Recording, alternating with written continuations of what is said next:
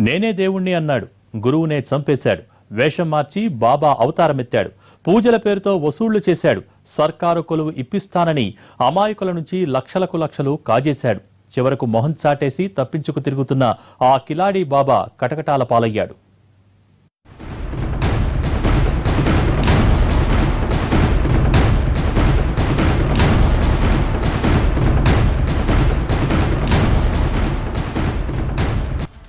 ఇతనే ఆ దొంగ బాబా. పేరు దాదు బంజన్ విఠల్ అలియాస్ విఠల్ స్వామి. మెదక్ జిల్లా అల్లాదుర్గం గ్రామస్థుడు. హైదరాబాద్లోని కార్వాన్లో ఉంటున్నాడు. పదేళ్ళ వయసు నుంచే తాను దేవుణ్ణని చెప్పుకుని మెదక్ జిల్లాలో తిరిగేవాడు. ధనుంజయ స్వామి దగ్గర శిక్షరికం చేశాడు. విద్యలన్నీ నేర్చుకున్న తర్వాత రెండు వేల ఐదులో గురువునే హత్య చేశాడు. అప్పట్నుంచే వేషం మార్చి తప్పించుకు తిరుగుతున్నాడు.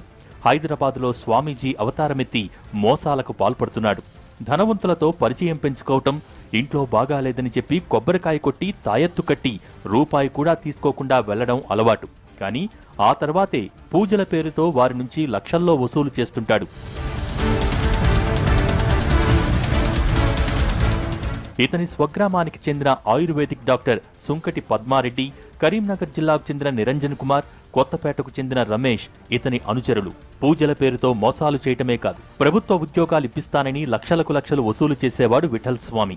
ఇన్కమ్ ట్యాక్స్ డిపార్ట్మెంట్లో ఉద్యోగం పేరుతో ఇద్దరి నుంచి ముప్పై నాలుగు లక్షలు జెన్కోలో ఉద్యోగం పేరుతో మరొకరి నుంచి పన్నెండు లక్షలు కాజేశాడు.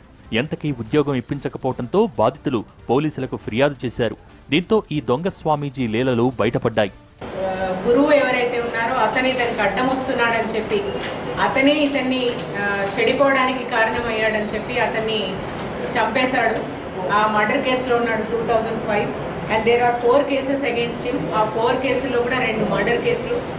ఒకటి మర్డరు ఒకటి డబుల్ మర్డర్ కేసు ఇంకొకటి కిడ్నాప్ కేసు ఒకటి ఆర్మ్స్ యాక్ట్ కేసు. నా వయసు పదిహేను సంవత్సరాల వస్తుంది. మా గురువు బాధలు చెప్పేసి అనుకుంటా బాధితుల ఫిర్యాదుతో రంగంలోకి దిగిన పోలీసులు విఠల్ స్వామీజీతో పాటు మరో ఇద్దరిని అరెస్ట్ చేశారు. పరారీలో ఉన్న ఇతని అనుచరుడు కోసం గాలిస్తున్నారు. నిందితుల నుంచి పదహారు లక్షల నగదు స్వాధీనం చేసుకున్నారు. విఠల్పై రెండు హత్యలు ఓ కిడ్నాప్తో పాటు అక్రమ ఆయుధాల కేసులు ఉన్నాయి.